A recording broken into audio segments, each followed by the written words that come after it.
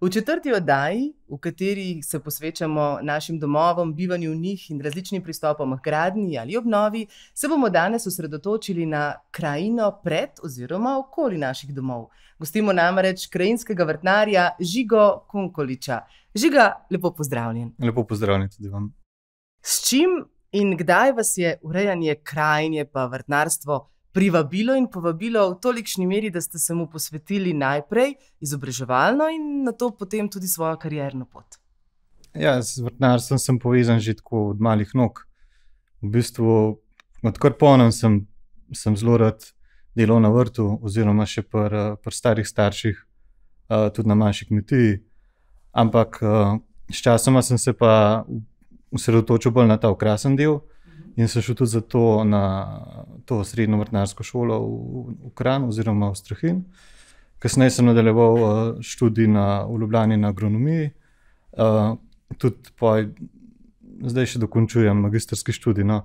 Ampak nekako sem svoj hobi, ki sem zelo rad uh, to delal uh, kot hobi, uh, prenesel v poslovni svet. No iz hobija v bistvu to vse skupaj, kar je danes, kar je danes to tako podjetje, kot ga imam, pač, ki se ukvarja z načrtovanjem, pa tudi z izvedbo na terenu. Iz veselja in otroške želje, poklicna ja. pot. Ja, tako je. Uh mhm. -huh. no, prav krajinsko vrtnarjenje postaja vse bolj pomembno v današnjem svetu, uh, kjer tudi trajnostne prakse. Pa uh, izboljšanje kakovosti bivanja, vse bolj pridobivajo na pomenu. Vrtovi so lahko različnih velikosti, ampak tudi majhen vrt, vrtiček, lahko rečemo, uh, ima lahko velik karakter. Vse, kar je potrebno, je dobra ideja, strokovno razumevanje prostora, poglobljen razmislek o načinu bivanja lastnikov in tudi smiselna uskladitev njihovih želja. To sva rekla pod samo to je potrebno. Ampak, ko nastopi urejanje hiše oziroma okolice hiše, se je tega najprej dobro lotiti kar s svinčnikom, ne žiga. Ja, nekako zmeraj tako začnemo.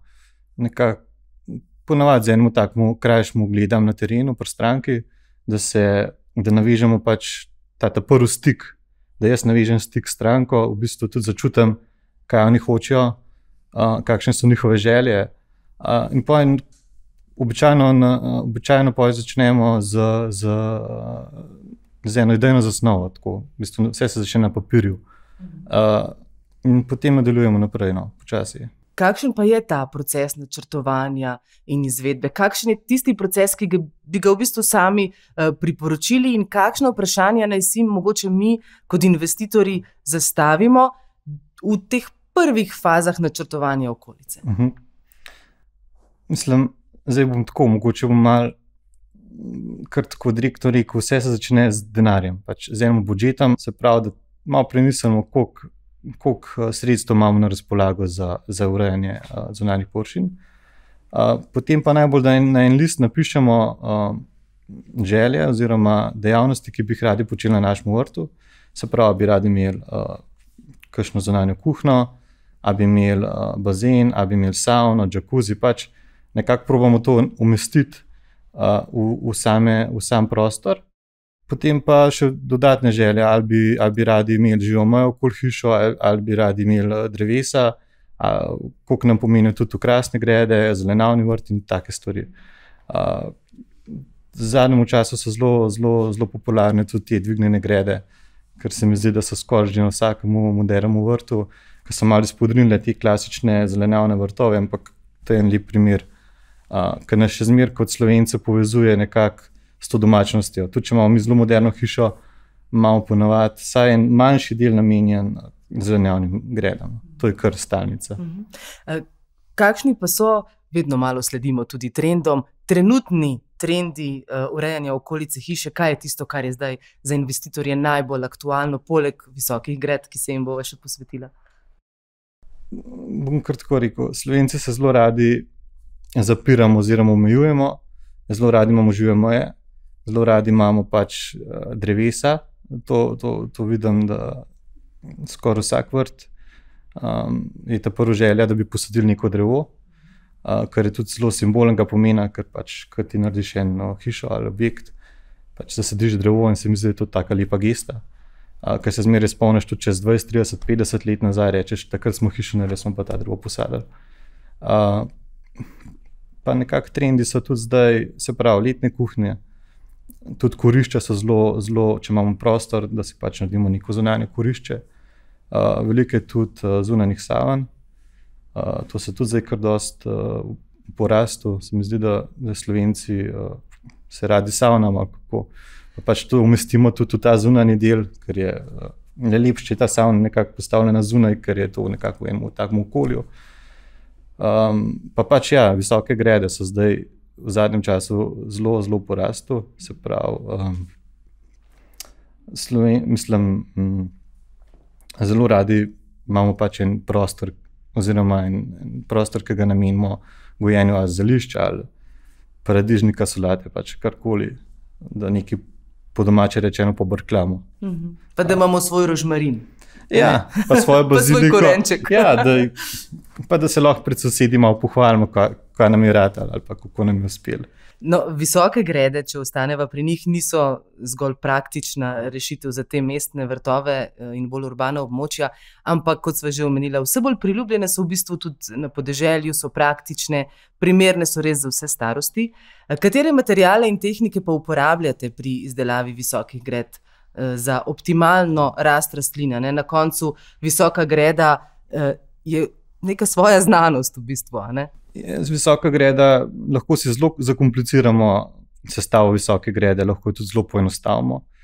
Um, se pravi, imamo različne materiale, s katerimi so izdelane, lahko je to kovina, lahko je les.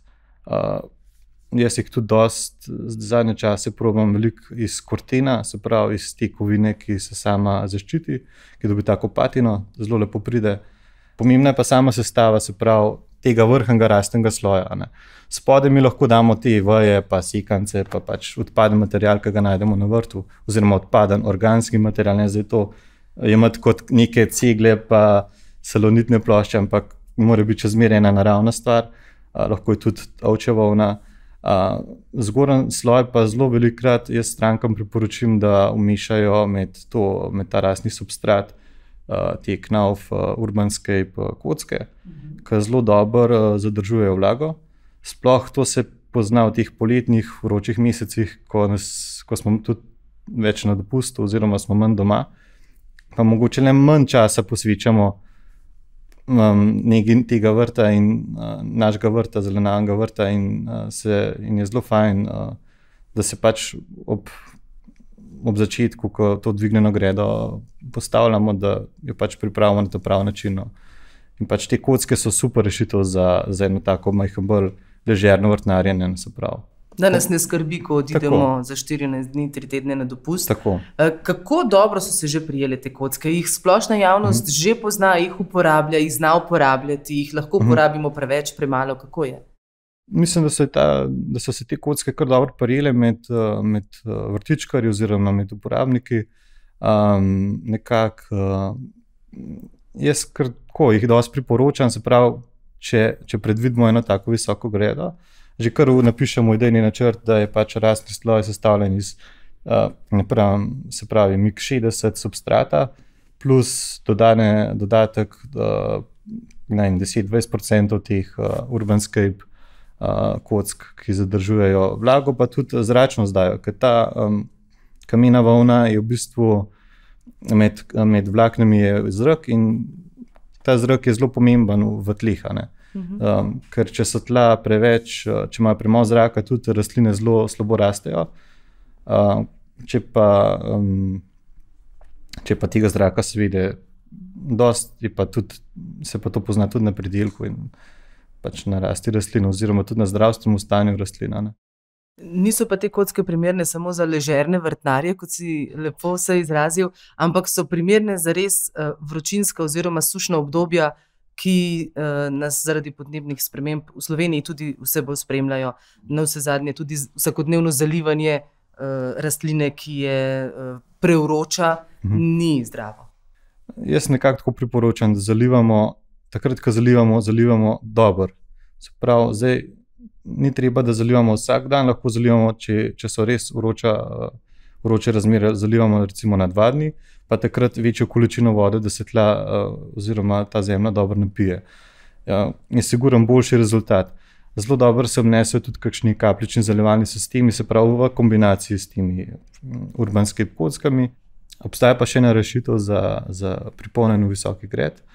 Um, se pravi, ko polnimo visoko gredo, lahko na, na ta spodnji sloj, ki je v bistvu, ki smo prej že omenili, da je mešanica nekih uh, ne, sekancev ali vaj ali pač.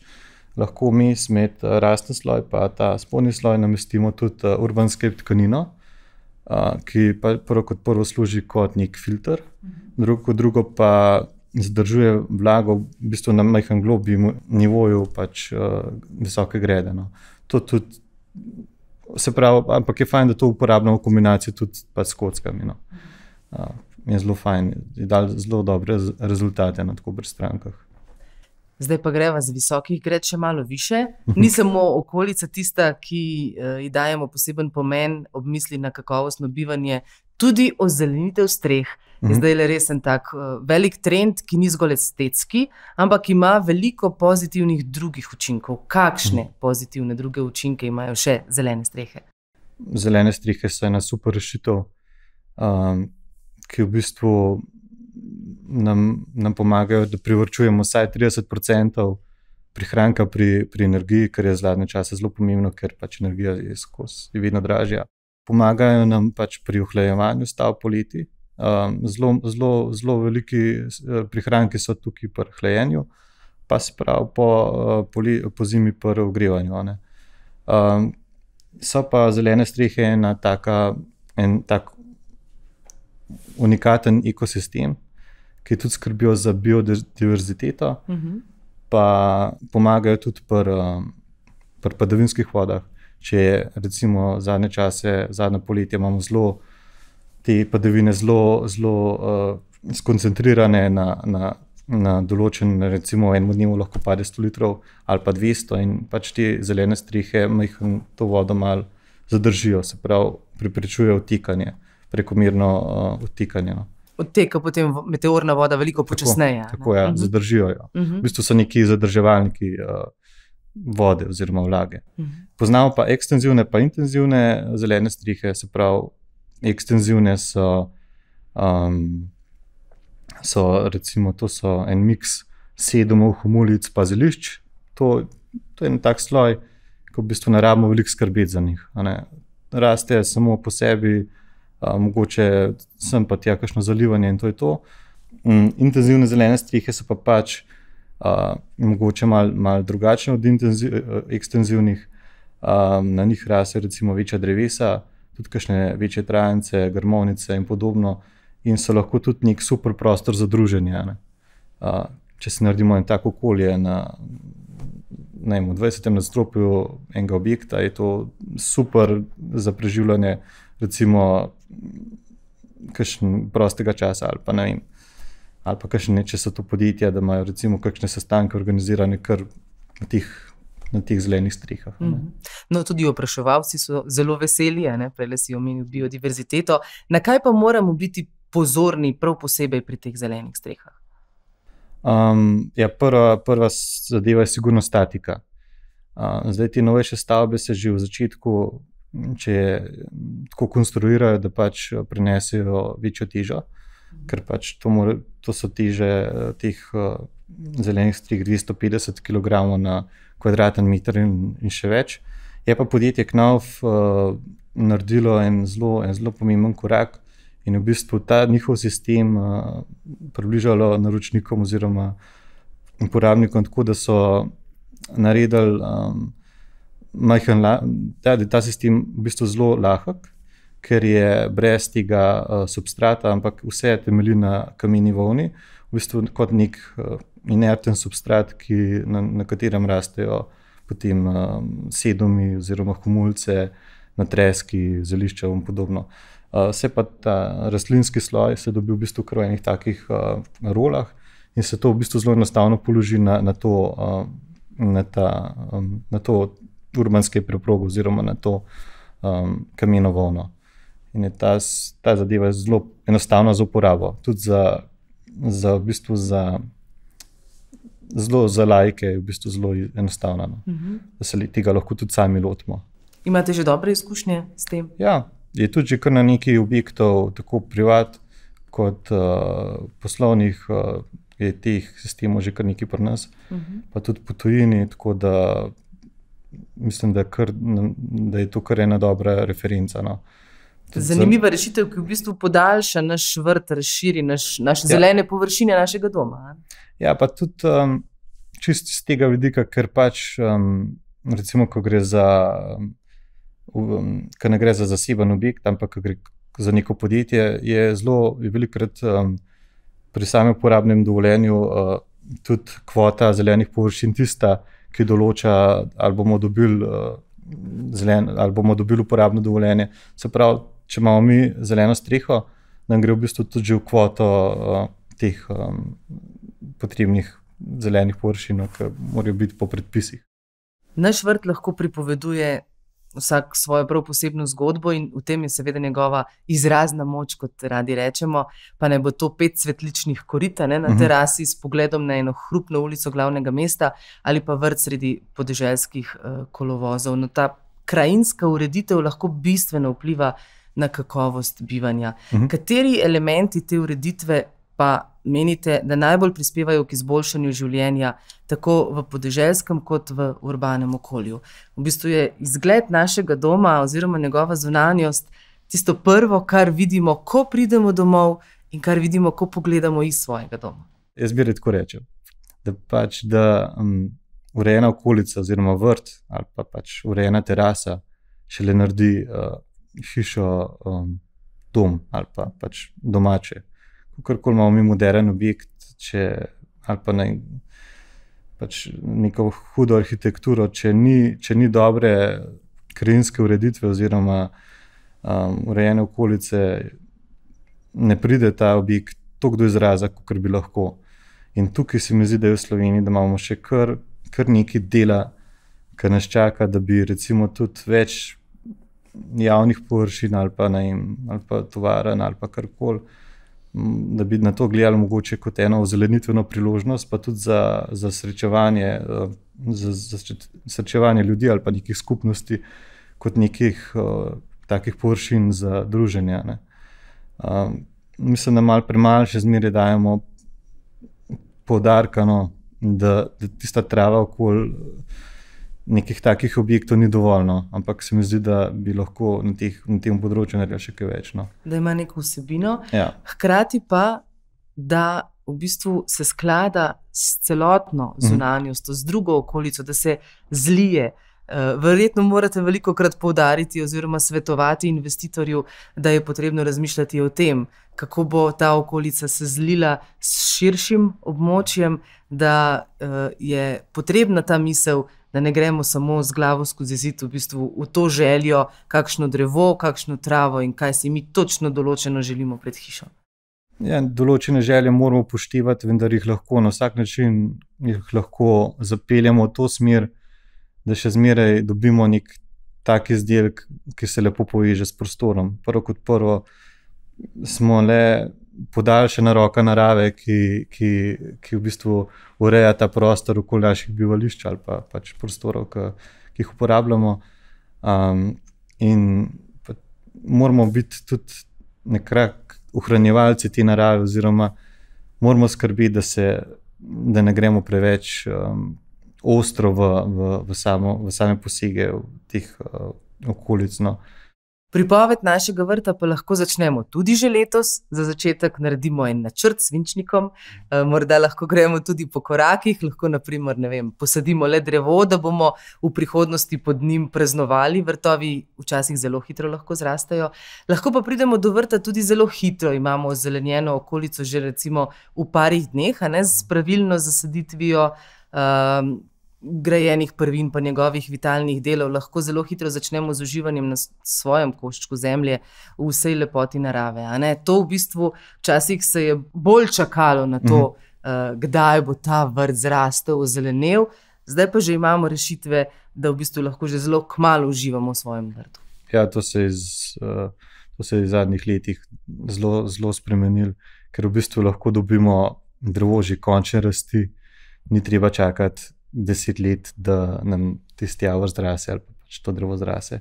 Na trgu je zelo veliko ponudnikov, ki nam ponujajo zelo veliko rastlinskih rešitev, oziroma rastlin, da lahko čim prej pridemo do nekega končnega zgleda vrta. Um, pri trajnicah to ni tak problem, ker se, se zelo hitro razraščajo, bolj je to problem pri lesnatih rastlinah, oziroma tudi pri živih majah, ker zdaj lahko dobimo že končano živo majo in jo postavimo noter in je v bistvu končen izdelek.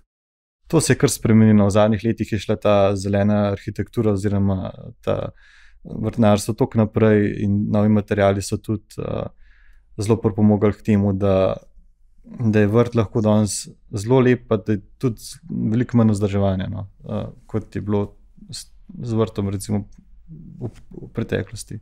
Lahko pa vrt gradimo tudi postopoma. Prej smo omenili, da so lahko z vrtom povezani visoki stroški, ki pa mhm. jih lahko prerasporedimo skozi leta, da lahko vrt nastaja se gradi v bistvu iz leta v leto, dopolnjujemo mm. z različnimi rastlinami, zelišči, drevesi.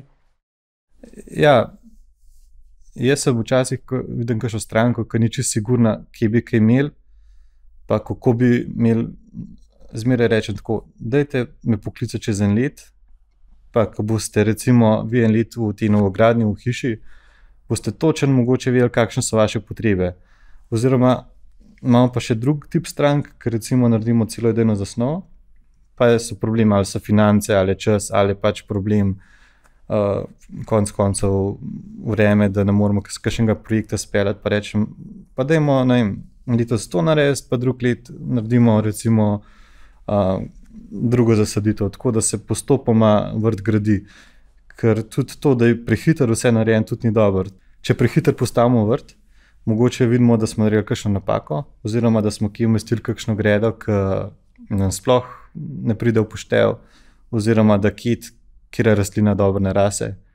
Uh, in pač, ja, mogoče je bolj počasi, no. Poč pa um, vsako leto nekaj naredimo. Lahko mi rastemo z vrtom, in tudi vrt lahko raste z nami. Ja, tako je. To je najlepše kaj naredimo na mestu zaključka žiga? Zdaj je v bistvu poletje v polnem razcvetu, uh, na mesto pikice na i, mogoče še uh, zadnji na svet, tistega najbistvenejšega, to je okolice našega doma oziroma naše hiše, da to res postane dom. Zdaj ni važno, kot sem že omenil, ali imamo mi zelo majhno teraso, imamo atris kvrt ali imamo zelo velik vrt. Pač to je, to je dosti nepomembno. Pomembno je, da mi uživamo da se mi v tem prostoru, pač zunanjem prostoru, dobro počutimo, da smo radi tam, da nas pomirja, da nas navdihuje, um, da najdemo en prostor, kjer, kjer se lahko spočijemo ali pa kjer se lahko družimo s prijatelji. In se mi zdi, da to je ta najpomembnejša uh, funkcija zelenih površin oziroma zunanjih površin. Da, um, da najdemo nek uh, nek oseben zadovoljstvo, oziroma da smo tam srečni. No? Da si naredimo en prostor, ki je, če lahko rečemo, temu kozi, pač udoben in to največ kar šteje. Večino leta lahko tam naredimo spomine. Ja, na vrtu si lahko praktično celo leto. Sej, nič, ni umejeno, da moramo biti samo polet, lepo je tudi po zim, lepo je tudi jesen. Pač vsak vsak uh, leten čas ima svoje svoje čare, nas, uh, s katerimi nas navdihuje. Žiga, hvala za vse navdihe, za vse na svete. Verjamem, da bodo marsikomu prav prišli in pomagali vsem tistim, ki si želijo dograditi, izboljšati svojo uh, zunanjost svojih domov. Um, mogoče tudi na bolj trajnosten način, mm -hmm. da razmišljamo še uh, v tej smeri. Želim vam seveda veliko uspeha pri vaših prihodnih projektih. Zdaj le je verjetno res najbolj pestro na vašem področju. Uh, tako da zaenkrat najlepša hvala, verjamem, da bomo še kdaj sodelovali in še klepetali. Žiga, hvala. Najlepša hvala vam. Vam pa najlepša hvala za pozornost. To je bila četrta v nizu oddaj, ki smo jih pripravili v predpoletnem času z novimi zanimivimi sogovorniki, se vidimo zopet jeseni.